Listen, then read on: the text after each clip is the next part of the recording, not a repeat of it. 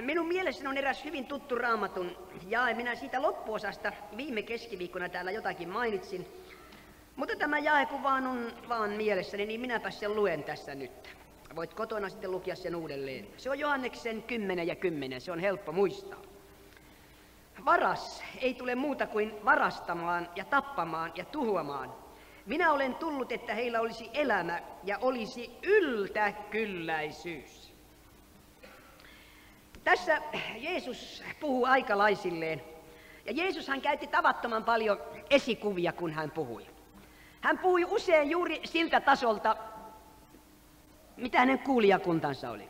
Jos hän piti järven rannalla puheen, puheen, hän saattoi puhua verkoista, kaloista. Jos hän piti puheen jossakin peltojen niittyjen läheisyydessä, hän saattoi puhua viljasta, jyvistä, vainioista, elosta. Jos maantie kulki lähellä hänen paikkaansa, niin hän saattoi puhua maantiestä, kylväjästä, joka meni ja tiputteli siemeniä maantielle, linnuista, jotka tulivat ja söivät. Jos kallio oli läheisyydessä, hän saattoi puhua kalliosta. Hän aina otti hyvin helposti eh, aiheekseen jonkun sellaisen, jonka ihmiset saattoivat havaita helposti, ymmärtää ja käsittää, mistä oli kysymys. Nyt tässä Jeesus puhuu hyvin kummallisesta asiasta ja käyttää hyvin merkillistä kieltä. Puhuu varkaasta. Se on muuten kaikkien suurin ammattikunta maailmassa, varkaat. Sen suurempaa ammattikuntaa ei ole. Maailmassa on tällä hetkellä noin neljä miljardia varasta, jotka ovat, kuuluvat tai ovat kuuluneet tähän ammattikuntaan, minä mukaan luettuna. Mä en tiedä, että toiset voivat olla pyhimyksiä. Tuo, me olimme Tampereella tässä viime torstaina, niin yksi insinööri sanoi, että tämä on varmaan tämä, tämä mikä tämä nyt on tämä toivo, niin tämä on varmaan teologisen koulutuksen saanut, kun on niin papin näköinen. Aivan toisenlainen arvostelu kuin minusta, kun ensi kerran muutimme Ruotsiin 64 lokakuussa ja minä sillä tullissa sitten jouduin heilumaan niiden paperien kanssa, että pääsi läpi. Silloin oli vähän nuukempaa päästä tullista läpi. Niin se tullimien virkailija sitten kysyi, että no mikä se teidän ammattinne sitten oikein on? No ne oli neuvonut Ruotsissa, että täällä maassa ei tunneta muuta nimitystä evankeliumin työntekijälle kuin pastori, niin minä sitten sanoin, no minähän olen pastori suomalainen, tänne tulen työhön. Niin tämä tuli virkailija sanoi, että no sitä minä en olisi voinut ajatella. Joo, se, ei, se, ei, se ei voinut ajatella sellaista asiaa ollenkaan. Mutta tästä Toivosta heti insinööri ja hänen rouvansa, niin oli heti sitä mieltä, että tämä on teologisen koulutuksen saanut. Kun mä vaimolle kerroin tätä, niin vaimonikin sanoi, että joo, että se Toivo on niin hienosti esiintyvä mies, että, että siitä saa sen käsityksen. No joo, me ollaan Alpon kanssa tämmöisiä resupekkoja. Mutta vaikka nyt olisi vähän tätä pastorin vertakin yhdessä ja toisessa, niin kyllä joka tapauksessa mä luulen, että jokainen meistä tavalla tai toisella jossakin elämänvaiheessa on kuulunut tohon ammattikuntaan, josta Jeesus mainitsee varas. Vai miten partanikkari sun laitas? kyllä sitä vaan varsinkin lapsena, niin kyllä sitä lähti yhtä ja toista vaan niin, niin, niin helposti teki mieli. Minäkin sokeria varasti äitiltä julki ja salaa. Nyt en mä huolisi koko sokerista. No joo, tässä Jeesus sanoo tällaiset sanat. Varas on tullut varastamaan tappamaan ja tuhoamaan. Varas. Koska jokainen hänen kuulijoistaan, läsnäolijoistaan tiesi, että mikä varas on. Sehän on tuhontekijä. Ja varassan yleensä liikkuu varkain, salaa, huomaamatta, mieluummin pimiässä, ettei vain kukaan saisi kiinni. Eihän varas koskaan tule ja sano, että minä olen varas, että mä tulin nyt varastelemaan. Vaan ainahan se liikkuu vähän noin vaan sillä selän takana ja hiljaa. Ja, ja joskus epäillään varkaaksi semmoistakin, joka ei olekaan. Tuollakin nyt oli Jyväskylässä ollut putkassa yksi liikkeessä palveleva henkilö kaksi vuorokautta, yksi yksin huoltaja syytettynä varkaudesta, eikä ollutkaan varastanut. ja sai korvausta valtiolta siitä 600 markkaa, kun istui kaksi vuorokautta putkassa. Pikkupojat oli varastanut seitsemän kartonkia tupakkaa ja epäilivät, että myymälässä työskentelevä henkilö ja kaksi vuorokautta istui putkassa. Mm. Mutta tämä varas, josta tässä on kysymys, valitettavasti ei ole putkassa. Tämä sielun vihollinen, varas, on tullut varastamaan, tappamaan ja tuhoamaan. Kun sielun vihollinen tulee ihmisen elämään, niin ei, suinkaan, hän tule suinkaan sieltä suurella ryskeillä ja präiskeillä ja ilmoituksilla mainostaen, että nyt minä tulen sinun elämääsi. Tule varastamaan sinun sielusi puhtauden, sydämesi puhtauden.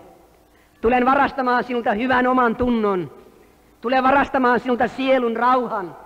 Tulen varastamaan sinulta taivasosuuden. Yhteyden elävään Jumalaan tulen katkaisemaan sen. Tulen varastamaan sinulta myöhemmässä vaiheessa ruumiin terveyden. Saatana ei suinkaan sano tätä. Kyllä se tulee niin hienosti ja niin ovelasti ihmisen elämään ja mahdollisimman aikaisessa vaiheessa. Ja vihollisella on vain yksi ainut päämäärä lähestyessään ihmislasta, tuhotakseen tämän ihmisen elämä. Saatana ei ole koskaan eikä milloinkaan säälinyt ihmistä.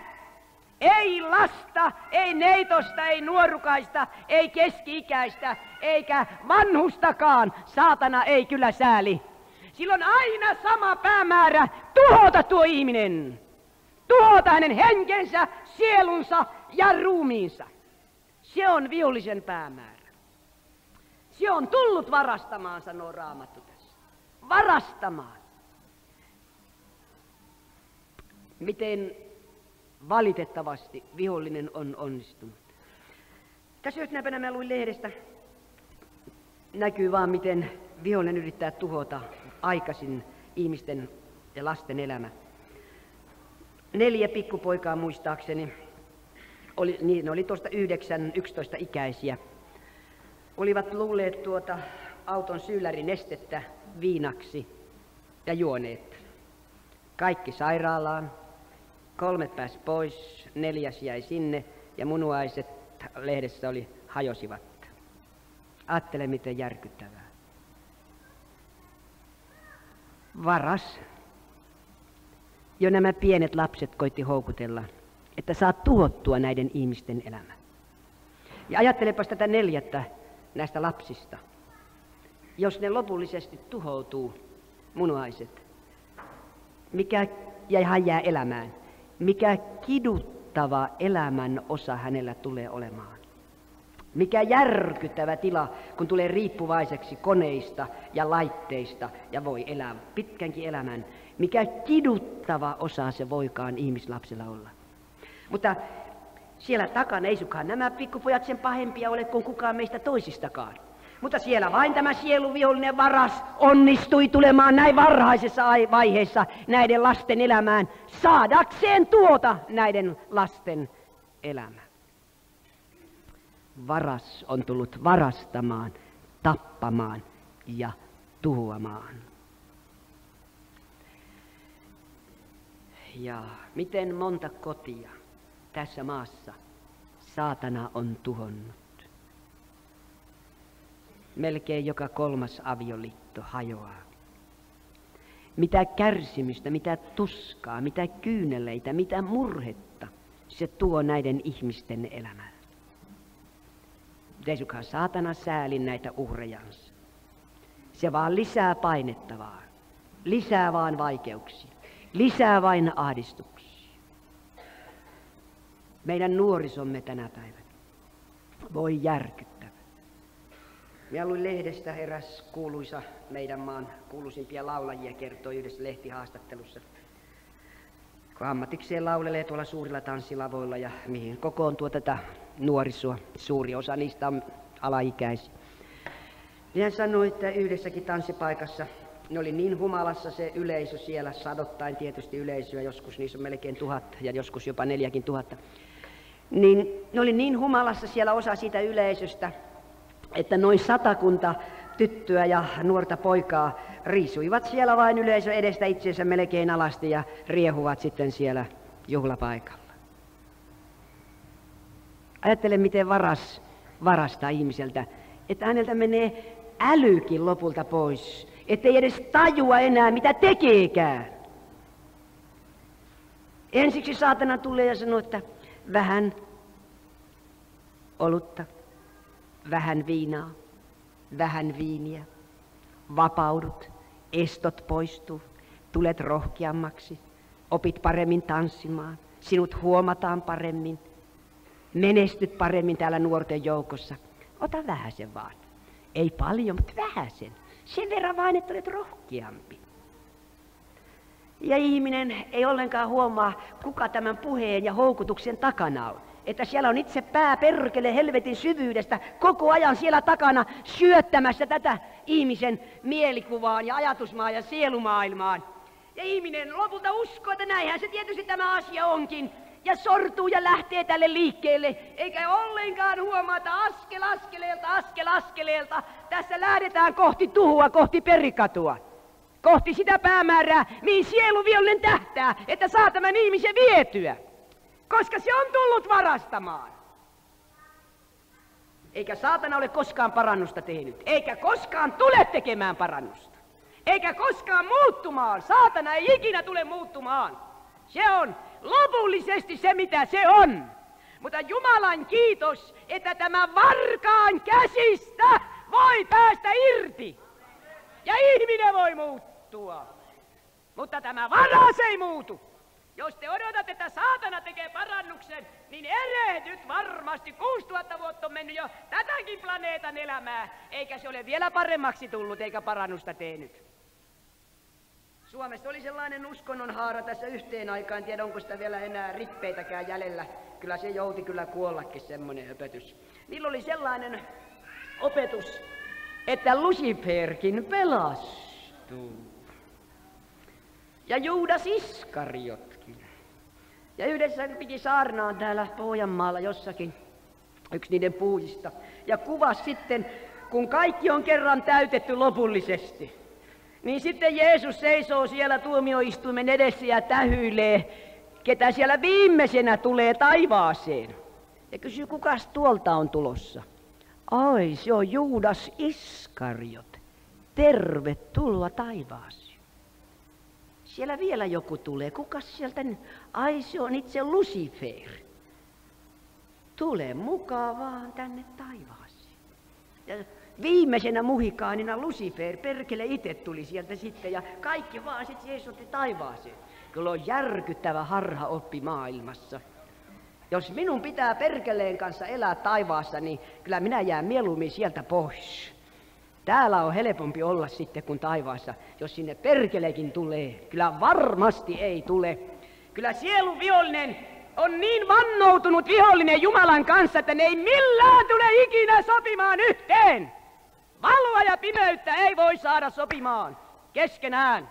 Vääryyttä ja vanhurskautta ei voi sovittaa yhteen. Kyllä niiden välillä on niin ihan kaikki sen syvä juopa kuin ikinä voi olla. Rakkautta ja vihaa ei voida saada yhteen. Sielun vihollinen varas se on vihaa, kateutta, murhaa, väkivaltaa, täys. Se on koko sen perusolemus, on vain väkivaltaa, vihaa, katkeruutta, kostoa ja murhan henkiä. Se on koko sielun vihollisen varkaan perusolemus.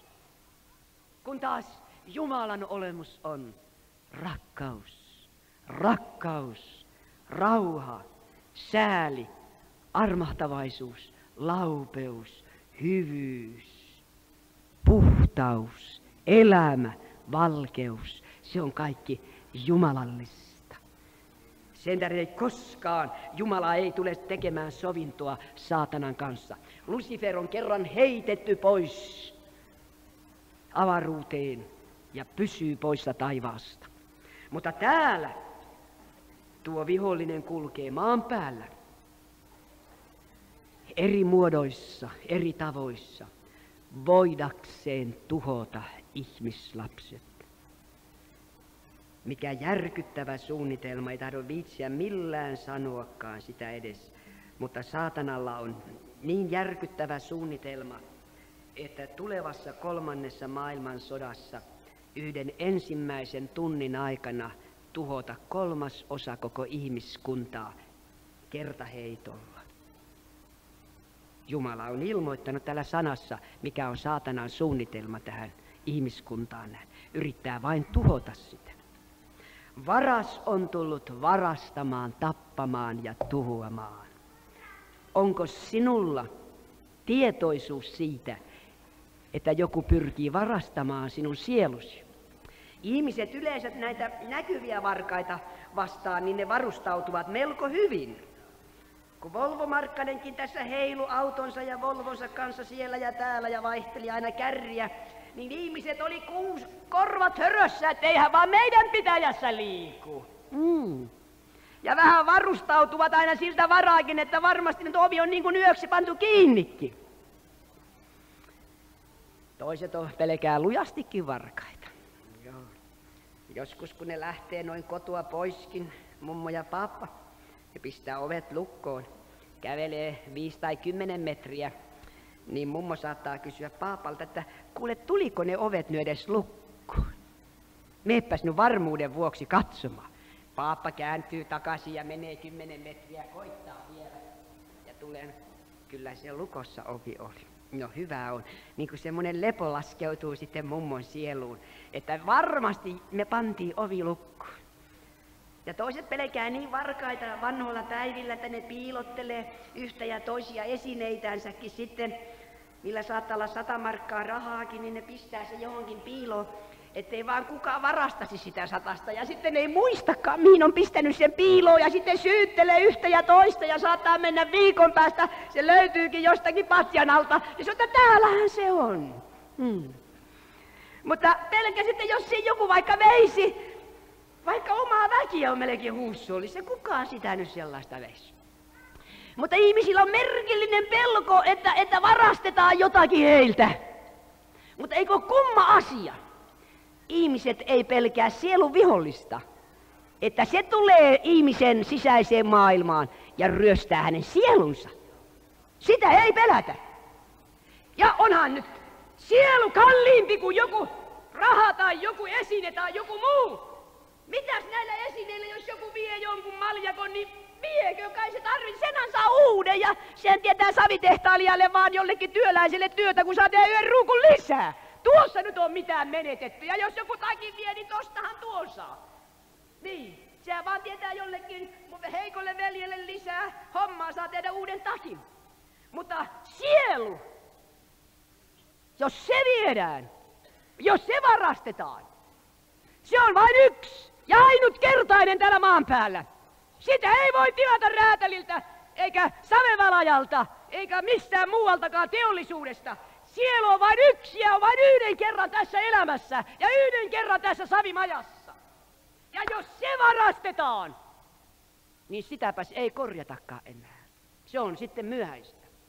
Ja merkillinen asia, että ihminen näissä ajallisissa, se on hyvin johdonmukainen joskus.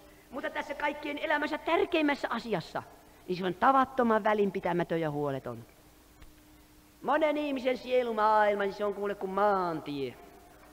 Sieltä saa kyntää mikä kukin milläkin haluaa vaan. Se on kuin kynnöspelto toisten sielumaailma.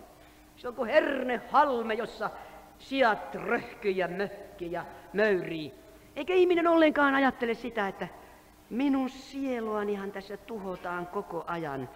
Minun sieluanihan tässä tehdään sairaaksi koko ajan. Ja sitähän tässä yritetään varasta ja ryöstää minulta tätä ihminen ei huomaa. Sen tähden, kun varas tulee salaa, pimiän turvin, huomaamatta. Ja usein vielä vähän kaunistellenkin asioita, että olisi parempi pääsy ihmisen luokse. Kuinka toisenlainen on tässä jakeessa tämä loppuosa, josta täällä viime keskiviikkona mainitsin, kun Jeesus sanoi itsestään, minä olen tullut että heillä olisi elämä ja olisi yltäkylläisyys. Jeesus sanoi, hän on tullut, että meillä olisi elämä ja olisi yltäkylläisyys. Miten toisenlaista on, kun Jeesus tulee ihmisen elämään. Että olisi elämä. Elämä. Varastua kuoleman, kaauksen, perikadon, tuskan, kivun, sairauden ja murheen ihmisen elämään. Mutta kun Jeesus tulee, että olisi elämä. Elämä! Ja sinne, minne tulee jumalallinen elämä, siellä alkaa vieriöimään.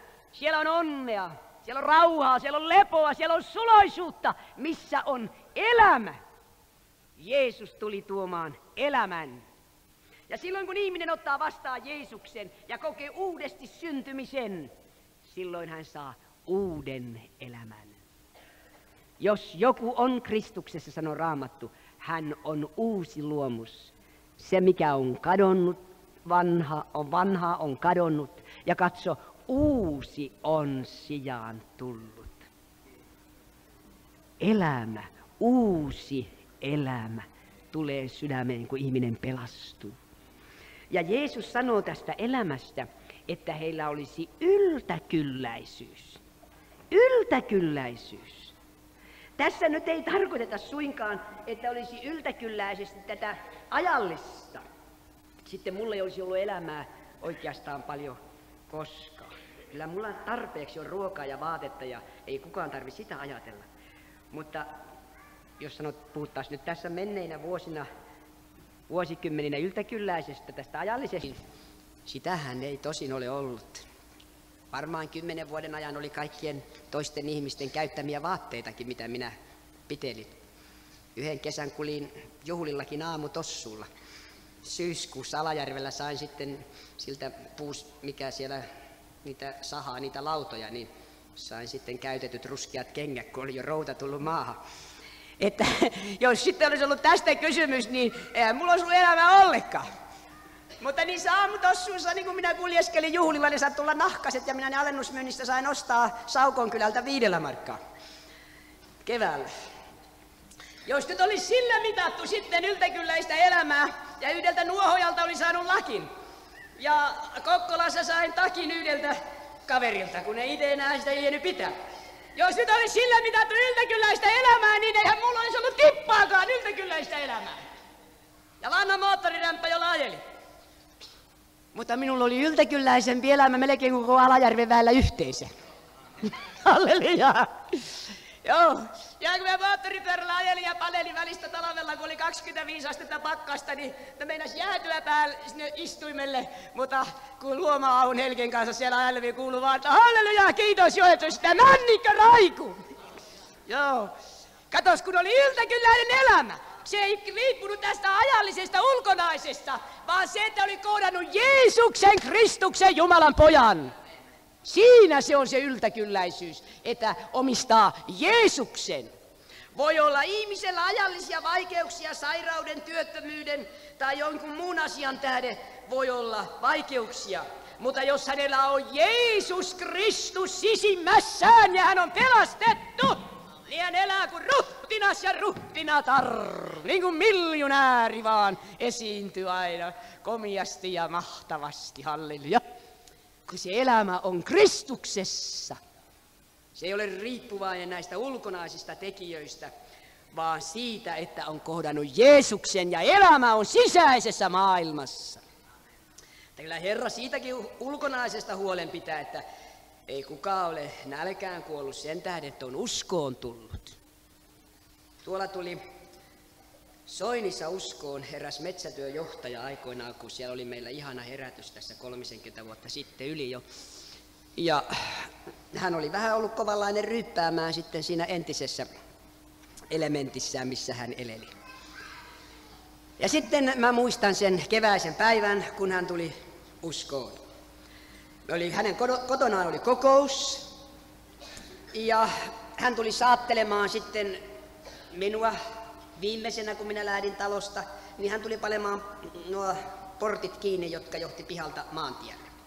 Ja siinä kun hän sulki näitä portteja sinne maantielle, niin hän sanoi siinä itselleen johonkin tähän tapaan, että nyt Veikko, sinun elämässäsi tapahtuu myöskin käänne ja portit pannaan maailmaan kiinni. Ja teki ratkaisun. Seuraavassa kokouksessa tunnusti kyläläiselle uskonsa Jeesukseen. Aikaa meni sitten eteenpäin ja tulin uudelleen käymään tällä kylällä. Hän oli rakentanut komian navetan sitten sinne jo ja oli komea, fiksu autokin siinä pihassa. Ja ihmiset, hän sanoi, että ihmiset kyselee häneltä, että millä ihmeen rahoilla sä oot nyt noin komian navetan tehnyt. Niin sanoi, että hän on vastannut niille, että kymmenyksillä.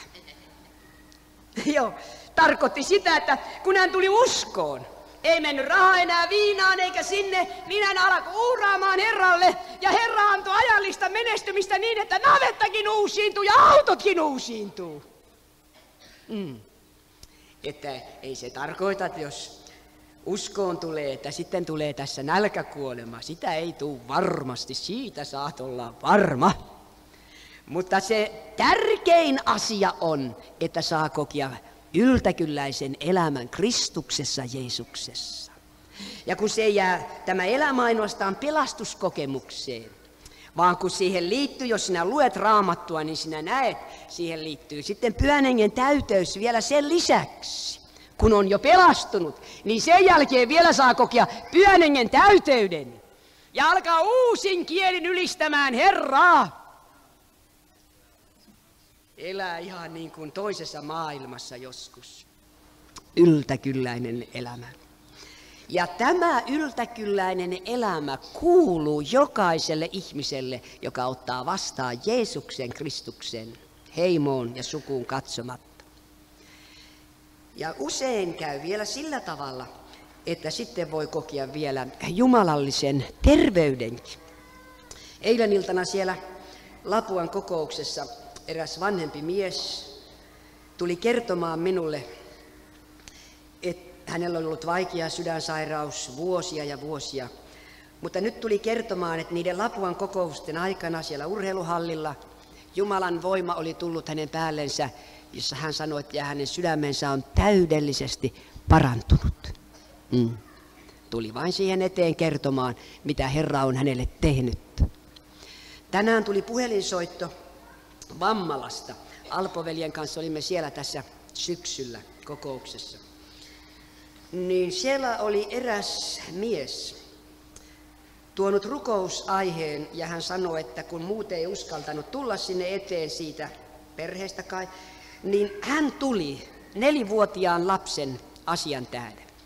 Tässä nelivuotiaassa lapsessa oli niin vaikea virtsa tiehyöitten tulehdus, että sitä ei ollut lääketieteellisesti voitu parantaa. Hän sanoi, että se oli niin vaikeaa, että tämä vesi jatkuvasti kaiken päivää juoksi, eikä voitu mitään.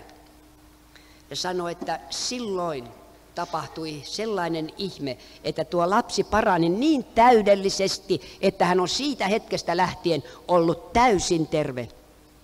Soitti tuossa iltapäivällä Vammalasta. Hmm. Ajattele, mitä Jeesus Kristus voi tehdä, jopa lapsenkin elämään aikuisen elämään. Ja niin kuin tämä Lapualla kertonut veli, joka on jo minuakin aika lailla vanhempi, että jo hiuksetkin oli päästä lähtenyt, niin vielä vanhemmankin ihmisen elämään Jeesus voi tehdä tällaisen ihmeen ja parantaa. Ja Jeesuksen tahtohan onkin parantaa ihminen. Silloin kun ei kerran ole vielä tullut se aika, että tämä maa jätetään ja lähdetään kypsänä lyhteenä leikattavaksi pois tästä elämästä, niin Jeesuksen tahto on parantaa. Mutta kun on olemassa meidän lihamme, joka sotii Jumalan lupauksia vastaan, ja sitten on tuo vanha valehtelija, tuo konna, joka aina syöttää ihmiselle pajuköyttä, että ei Jumala halua sinua parantaa, ei Jeesus halua sinua parantaa. Ei Jeesus tahdo, sinä olet niin huono ja mitätön ja avuton, eikä sulla ole uskoakaan, ei Jeesus halua sinua parantaa. Mutta Jeesus paljastaa tämän valehtelijan sanoo, että silloin kun se puhuu valhetta, niin se puhuu omaansa. Hmm. Silloin kun saatana puhuu valhetta, niin se puhuu omaansa, sanoo Jeesus. Valhe on syvyydestä kotosia, se on sielun vihollisen omaisuutta, on valhe. Ja silloin kun se yrittää sinulle vakuutella, että sinä et voi parantua, niin muista nyt, että se on valhetta. Jeesus ei tule koskaan sanomaan sinulle, että et sä voi parantua. Sitä paikkaa sinä et löydä kyllä uudesta testamentista, että Jeesus tulisi ja sanoisi kärsivälle sairaalle ihmiset, että et sä voi parantua. Kärsi vaan. Mä jalostan sua.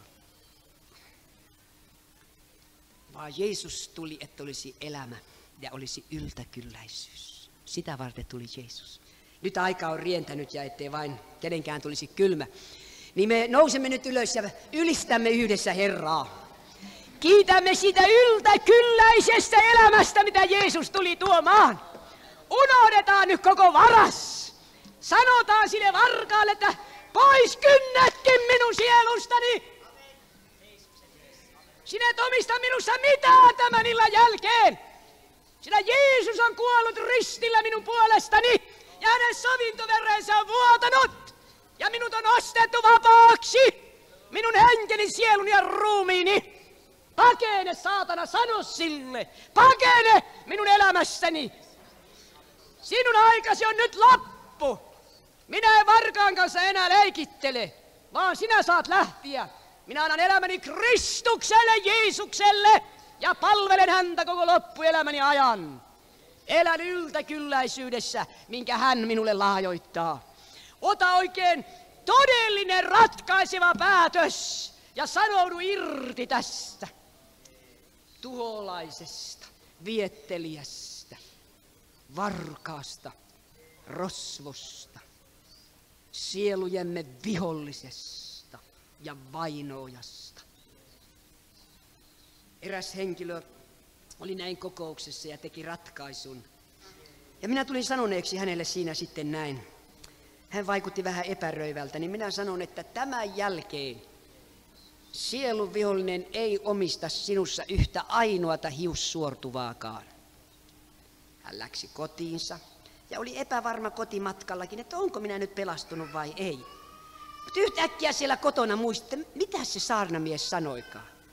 Sehän sanoi, että sielun vihollinen ei omista minusta tämän jälkeen yhtä hiussuortuvaakaan. Ja kuule silloin armo kirkastui ja hän alkoi yhtäkkiä ylistämään Herraa. Ja hän koki uudesti syntymisen ja pelastuksen.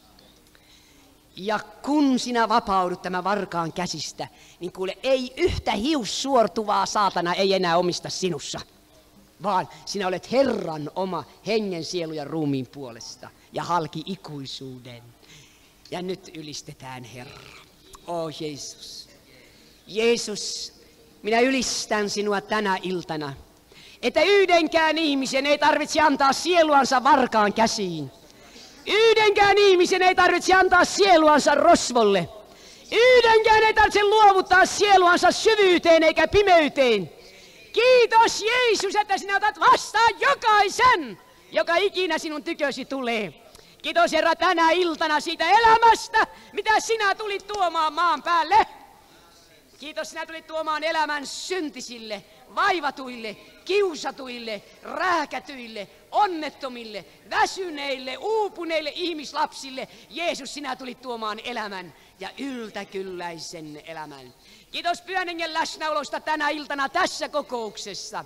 Kiitos jokaisesta, joka saa kokea pelastuksen Jeesus tänä iltana ja saa syntinsä anteeksi. Kiitos ja siunaat nämä rakkaasi, jotka ovat täällä. Herra, kiitos tänä parantavan voimasi vaikuttaa sillä tavalla, Herra, että sinun omasi ja jokainen, joka uskoo sinuun, kokee parantumisen pyhän hengen voiman kautta. Kiitos Jeesus. Mutta ennen kaikkea kiitos, että sinä annat syntejä anteeksi. Jeesus, sinä annat syntejä anteeksi. Oi minä kiitän, että tänä iltana Jeesus, sinä annat syntejä anteeksi. Jokaiselle, joka tulee sinun tykösi ja uskoo sinuun. Nimesi tähden. Amen. Vielä yksi kysymys tässä kun seisomme lyhyesti. Onko tässä kuulijakunnassa joku tänä iltana? Ja sinä haluat tänä iltana antaa elämäsi Jeesukselle. Saada häneltä yltäkylläinen elämä. Jeesus siunatkoon sinua. Muistamme rukouksi.